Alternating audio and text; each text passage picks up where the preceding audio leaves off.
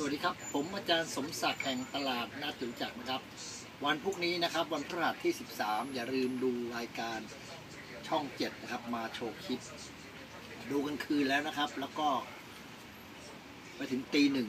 ตีหนึ่งครึ่งของวันศุกร์นะครับอาจารย์สมศักดิ์ออกรายการ เดี๋ยวตอนนี้จะมาสอนมายากลหนังยางนะครับ มีคนโทรมาถาม ว่าอาจารย์ทำไมเดี๋ยวนี้ไม่สอนมายากลหรือไม่เฉลยมายากลจริงๆ ขอพูดว่าเป็นการสอนดีกว่าคนง่าย ๆ นะครับ ดูดีนะครับ จับอย่างนี้นะครับ ดึงปุ๊บเข้ามาใกล้เลยครับ ดูหนึ่งสองสามหลุดนะครับเห็นไหมครับ ดูอีกทีนะครับ จับนิ้วโป้งเข้าไปอย่างนี้ แล้วก็หมุนล็อกอย่างนี้นะครับ เห็นไหมครับหนึ่งสองสามอีกทีนะครับ เอานิ้วโป้งเข้าไปอย่างนี้